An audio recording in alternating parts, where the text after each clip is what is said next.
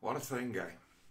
Must be now, oh God, how many years? But 35 years ago, 34 years ago, kid I used to hang around with, he had a copy of Playboy. And this copy of Playboy he had was, I think, you know, he'd gone to great lengths to get hold of it, and it was like the Pamela Anderson debut uh, Playboy. And if you look at it, it's kind of soft core, but it's a matter of, wow. Like, I saw, first saw pictures of Pamela Anderson with her tits out when I was about 13 or 14. Playboy is like, oh wow. And then you weigh up how the how she was like portrayed back then, even back then, as she was a very wholesome sort of small town girl. Who'd been discovered by a real random chance as a model, and then obviously, you know, Hugh Hefner saw whatever the photos of her around, and next thing you know, she's she's in the world of Hollywood. She's a, a friend of the Playboy organization. Now you get yourself a start like that in LA, and you're gonna go places real quick, especially when you look like she did. But it's like the person was she was actually just a good-looking working class girl. I mean, I know, I know, I've known plenty of good-looking working class girls end up working in supermarkets. Well, she was a waitress who ended up being spotted. It's like whose eyes are on you would depend on how far you go. And it's like um, when she got married to Tommy Lee. It's like, oh, she got married to Tommy Lee. Everyone knows who Tommy Lee is, or especially, I mean, I certainly knew. I used to quite like the Motley Crue. First Motley Crue album I had was Girls, Girls, Girls, again when I was about 13 or 14. I like Motley Crue to this day. I'm like, no, I'm still to this day. It's like nobody actually sounds quite like the Motley Crue. Nobody sounds like them. And it's like what they were trying to do is like they were like the end stage product of what was glam rock. They were like the masters of that kind of um, what came out in the seventies when when rock came sort of hyper commercial, and then suddenly it's, it's mainstream music. Uh, when that when that period died off, it's like that's when they came in, like early eighties, and it's like this was almost this was like glam rock in its final form. Now it's like Motley Crue are fun, they're good, they're catchy. It's like Motley Crue tunes are great. It's like they're, they're a great band. And it's like, oh, hair metal. And it's like, no, these guys were really good and everyone was hair metal at the time. So Tommy Lee, you know who he is. And it's like, well, he's, uh, he's one of the best rock drummers in the world. He's known for being a bit of a drunk and a dickhead. But, you know, fair play to him. He has, like, sold 70, 80,000 albums, a million albums. It's like if you were to look at dysfunction in that group of people who were in, it's like they were just working class guys, the Motley Crue. Not much, not far out with the teens. They were like a teenage band when they were like big. So you look at where, where they're talking about where they're from. It's like where they're from, the shittest parts of LA. It's like they're working class guys who've never had to grow up. So it's like, yeah, Tommy Lee, fine, okay. And then, as the next thing you know, that tape became a thing. And it's like, that tape on video, right? When it became out, it got as far as Taylor Engineering and Plastics in Rochdale and the Cronky Shore Social Club. Like, what? So, yeah, that stolen tape in the old method, before there was the internet to share something that go viral, that went viral, people copying it. And it's like, they've, to this day, it's like, if they really knew how far that tape had gone, they would still probably be stunned to this day. It's like, you know, a woman I used to work with lent it me and said, you really ought to watch that. That is a fucking eye opener. And she's like, oh, And the, the, her observations about it were a little bit crude. So it's like, eh, I saw borrowed it, I took it home watched it. And it's like, this is the thing with that Tom, Pam and Tommy TV show. I mean, people watching that have seen that video. It's like, I've seen it. I've seen it once and I wouldn't watch it again. It's not like oh, I was rushing, oh, I need to copy this to keep it. For like masturbatory purposes. No, it's not like that, that video at all. It's not hot, but it is. It's not sexy, but it is. And it's like, you put that on, you watch it, and you're like, hang on a minute. I shouldn't be watching this. And that's part of why it's good. That's part of why everyone's glued to it. That's why someone gave it to me. Say, watch that, it's an eye opener. It's like a video nasty. You know, if, if someone give you a snuff video and say someone gets killed in this video, watch it. It's like that's a fucking eye opener. It's it's it's on the verge of that that sex tape, and you know why? Because you know what you come away from that sex tape with, right? When you watch it, is that he really loved her, and she really loved him. And that's how it comes across as weird. It's like, this is an abomination, this. He fucked up making this. And I'm like, personally, I'm like, never make porn yourself of yourself. Never take selfies. Never take dick pics. Never take porn because I've seen it. Right? What happens when it gets around? And it's like that was to be, to have watched that show and been someone who saw it. You know, in my twenties when I saw it, but it's like, no, that was wrong. That that happened. It was wrong. It was an abomination. That tape should never have existed. And them, those who made the tape, Pam and Tommy, they kind of knew that. They were fooling around. And to them, it was kind of funny. And what did they do with it when they got it? Instead of destroying it like they should have done, he foolishly put it in his fucking safe. Now, the problem with his safe was, it wasn't like usually when you get a safe installed, you, you get it like bolted to the floor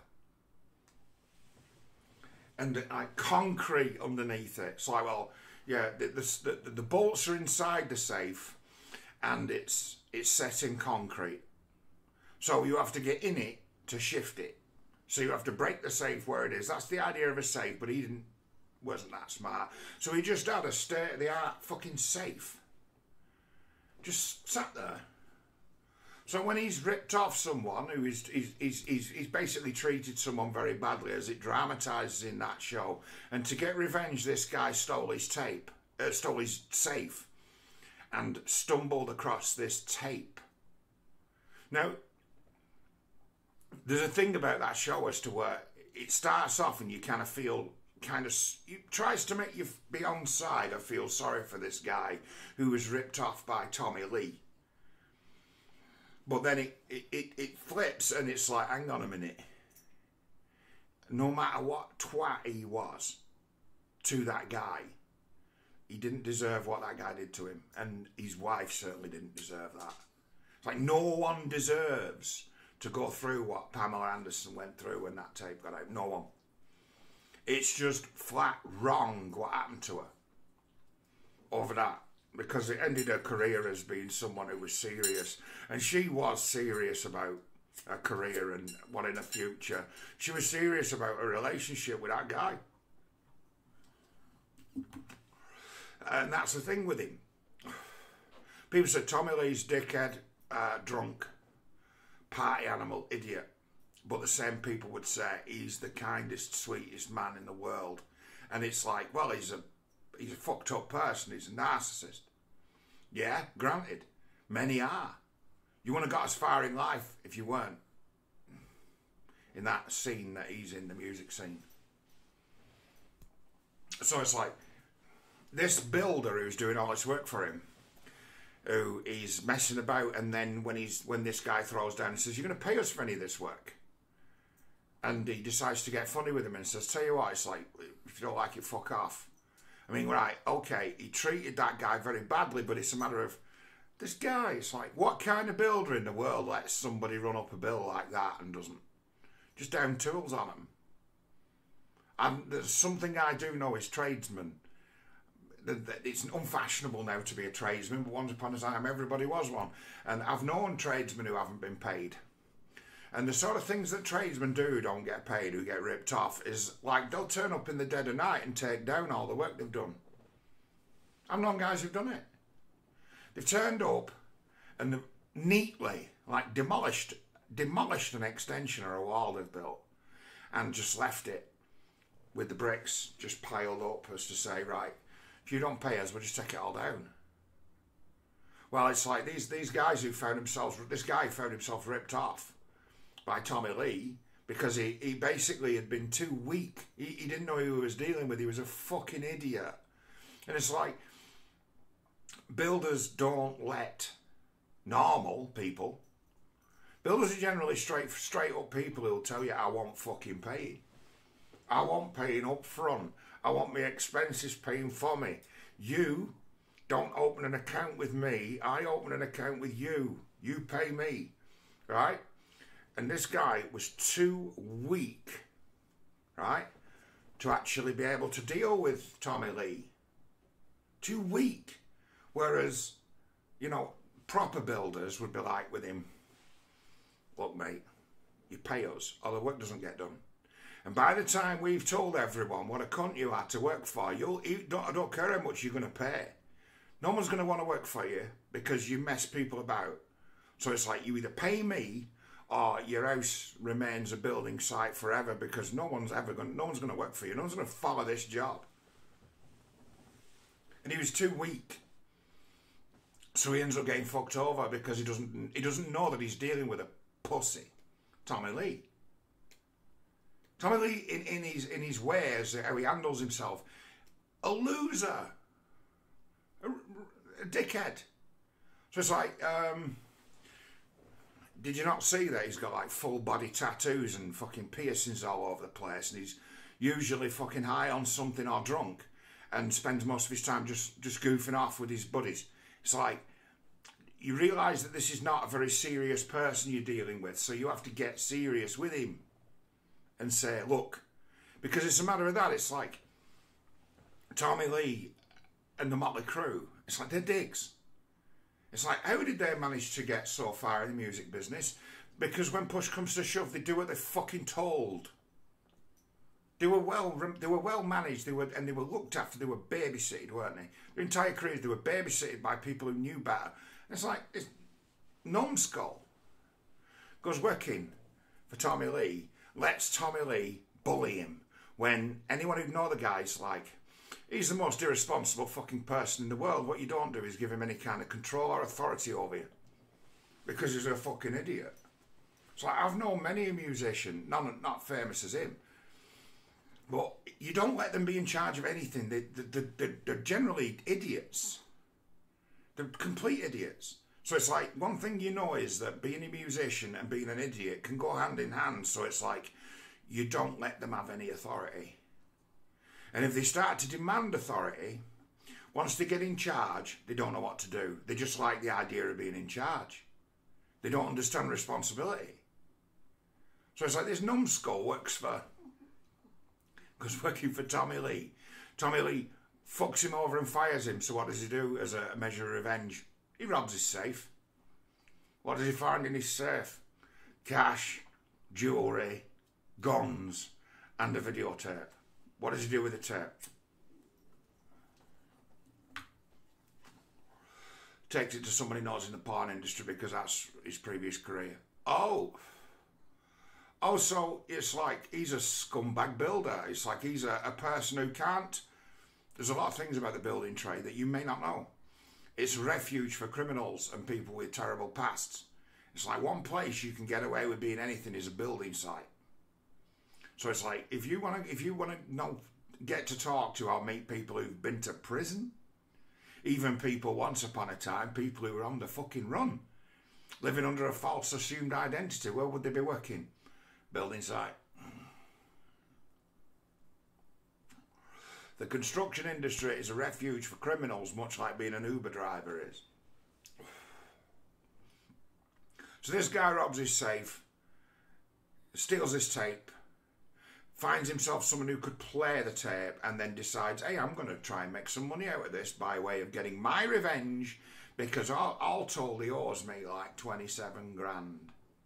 And it's like, have you got, have, how, have you been so weak as to where you've let a fucking little pipsqueak of a fucking bully, fucking drummer boy, owe you 27 fucking grand?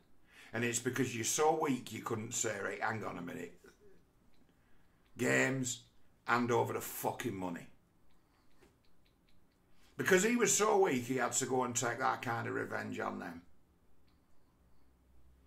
And it's like, that tape stolen from that safe was copied millions of times uh, to where I get word when I'm in the Cronkeyshaw Social Club from the lad behind the bar who's always always had that kind of thing going on where there were tapes left behind the bar. The, the trick was the tape would uh, the, the box would be something like uh, coarse fishing or else some movie you're never going to fucking watch and then that would be the cover for the tape inside being porn. So it's like, oh yes, someone's left you a video, and it'd be, um, I don't know, like the, the best of Only Fools and Horses or something like that, and then it's actually just a cover. So it's like once upon a time, video cassettes used to get handed over in boxes like Sleepless in Seattle, You've Got Mail, Pretty Woman, things that people will not fucking watch of their own volition, right? And it's like, oh, just that. So innocuously hidden amongst that, much like the joke out of Trainspotting where he steals the guy's homemade porn tape. At least that guy dying, doesn't it, in Trainspotting where he's um, he kills himself in the end because his homemade porn tape went missing. How did his mate steal that tape, that homemade porn tape? Well, he did a switcheroo that's to, make it so it was 101 great goals. So that's the that's actually the, the, the tape trick the box that says 101 great great goals and the black videotape. That videotape got as far as Cronkeyshaw Social Club in Rochdale, whereas the lad behind the bar who's always trading videotapes, porn. Oh, I've got the uh, Pamela Anderson Tommy Lee tape. Do you want to watch it? No, I've seen it. No, thanks. No, thanks, I don't want to watch it. Oh, fair enough. Oh, I've seen it. Any good? Well, kind of, yeah. It's like, uh, as homemade porn tapes go, it's like one of the best ever. What? Like, oh, yeah, full trip. It's like, this is like X rated filth. But it's like, what two people do within their own relationship is between them. And that tape is deeply personal. It's like I shouldn't be watching this. And everybody who's seen it will have had that ick go through them and say, I shouldn't be watching this. But in some people, that's what made it so alluring.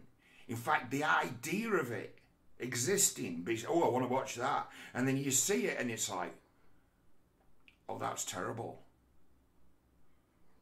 Terrible? Yeah, that's terrible. That's a tragedy, that. But it's kind of hot, isn't it? And explicit and sexy. So, yeah, but it's terrible. It's heartbreaking. What? Yeah, it's heartbreaking. Is it? Yeah. What do you mean? Just watch it. It's everywhere. Watch it, and you'll see that it's it's a tragedy. It's devastating. It's it's a blow that someone's never going to recover from because they it was never supposed to see the light of day and did. And it's like, that's why you should never make porn on your own. You should never make your own porn tapes, ever. Like, why? So it's because you, it, it, everyone who watches it be damaged by it. Everyone who watched it be hurt, you know, and have, have weird mixed feelings about it. As to where I've been watching that series, I'm up to the last episode of it, and I'm like, in a strange old way because of the nature of the material. It's like, I'm a party to this. It's like, why? It's like, well, I've seen it. No one forced me to watch it either. I, it was, it, I was curious enough to watch it. And I watched it, and I'm like, this is actually really sweet. What? Yeah. He loves her. She loves him.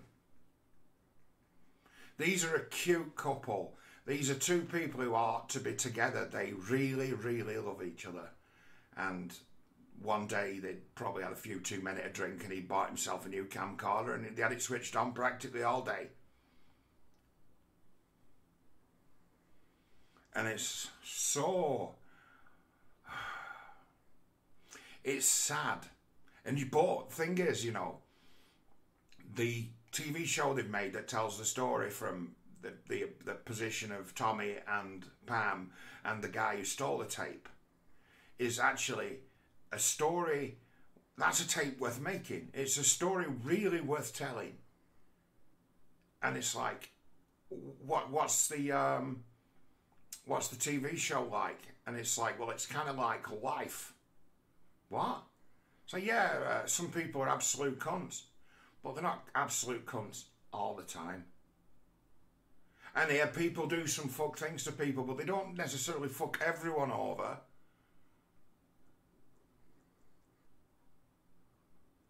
And amongst them, all this namaste, bullshit, new age, meditation, and power of attraction nonsense. Notions of karma. Notions of, I'm going to get revenge on these people. And it'd be a matter of, what did that Pamela Anderson do to deserve that? And the answer is absolutely nothing at all.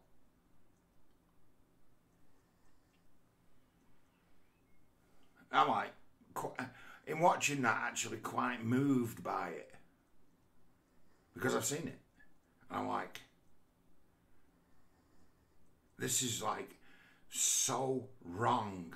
And it being so wrong, I guarantee the millions of people saw it. It's like to this day, do they realise that that the, their sex tape got as far as the Cronkeyshaw Social Club in Rochdale? Before the internet came along, when it was all just, hey, I've got two video recorders. Have you now? Yes. And the, it just being duplicated by people just making their own personal copies of it and then lending it out and then them making copies of it and them making copies of it and them making copies of it. It's like it got as far as everyone who knew people in social situations uh, it would have been something that came up in conversation and then it'd be a matter of, yeah, I've seen it. Really? You, well, yeah, I've got it. What? Can I watch it? Do you really want to? Well, yeah, when people hear about it, like, I want to watch it, I want to watch it, I want to watch it, I want to watch it. do you want to watch it? There's um, a chap, Steve, when I mentioned I mentioned on Facebook I'd seen it and it's like I'd seen the, the, the TV show and he says, Is there a recreation of the tape? And I'm like, you don't want to watch the tape. It'll fuck you up. It'll it'll demonstrate to you how fragile people's sort of lives can be. It does. It's it's it's like it's a weird study into humanity that the Pam and Tommy sex tape. It's like watch porn, right? You watch porn, it's like, well, she likely got paid, uh, depending on depending on what, what goes on and who you're shooting with. It's like, for that morning's work, that woman in that, right? She'll have probably got paid a couple of grand, a good couple of grand, and being it flat out for the wages. She can work one day a week instead of for the same money as working a fortnight.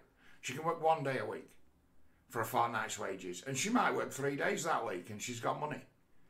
But she turns up on the day, on the porn shoot, contracted to get fucked. Contracted. She's there to do it with intention. I'm here to do this. And we have porn. When you get it someone who isn't a whore, It's not porn, is it? So there's, there's always that detachment as to where you can logically, as to put it, as to where it's like, well, people are free to do what they want. It's like you can speculate as to how fucked that person's life might have been, right?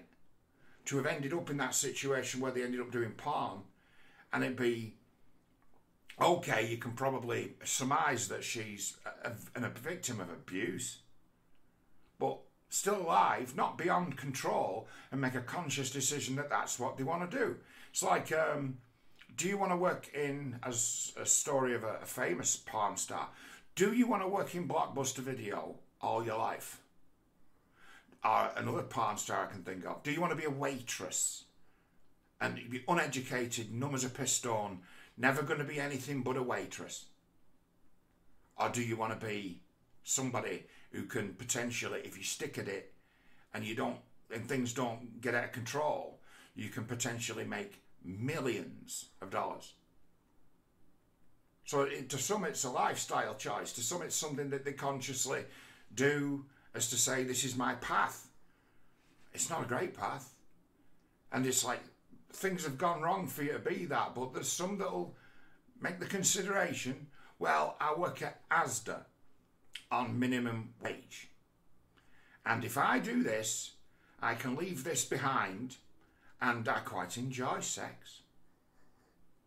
Make a conscious decision to do it. You will never see anyone who's in a porn movie who's not willing to be in a porn movie. There's nothing quite as unsexy as someone who's reluctant to be in a porn movie, is there? Nothing quite as unsexy as that. But it's like, you change it over, you flip it to the celebrity sex tape that's been leaked. And he'd be like, she ain't a whore. He loves her. This is a tragedy. And you, you and, in, and in, in watching it, you've you've taken part in it, and it's gone in here. I've seen that tape, and I'll never forget it. That I love you, baby. And it's like, well, yeah, he probably does. It's so intimate and so almost pure that it's a real eye opener. I recommend anyone out there, if you're curious about that, if there's any justice in the world, that that video has disappeared from history because it's it's an abomination. It's so sad. And if you see how the, the, the, lives turned out of those two involved, it's like they didn't benefit in any shape or form from that getting out around the world. You know, like there's those in the world who've deliberately leaked sex tapes in order to gain notoriety, fame, publicity. Well, that ain't that. It's a tremendously good TV show, that Pam and Tommy, because it's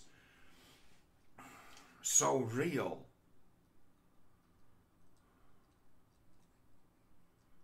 And uh, an incredible story worth telling. Because, say, in the first instance, you might feel sorry for the carpenter who's getting fucked over. But then it, it kind of flips and it's like, she may have taken her clothes off a Playboy. She may have spent every day of the week in a bathing suit shooting Baywatch. But she didn't sign up for that. People might have been thinking, oh, she's a sex symbol, therefore, you know, she's a whore, she's a slut, she's a slag. And it'd be a matter of, I don't think she was. And I, I don't think she is. I think Pamela Anderson's likely quite an articulate and intelligent person. Dare say of uh, women who are tough, who've been through shit and seen some real disaster. It's like she could potentially be one of the most um, profound and wise women in the world, Pamela Anderson, in view of what she's experienced. So I might follow her on Twitter. um, I put it. I put it in her favour. Pamela Anderson, one of the very few celebrities who's actually taken up for that Julian Assange to try and get him out of jail. Not so many have. She did.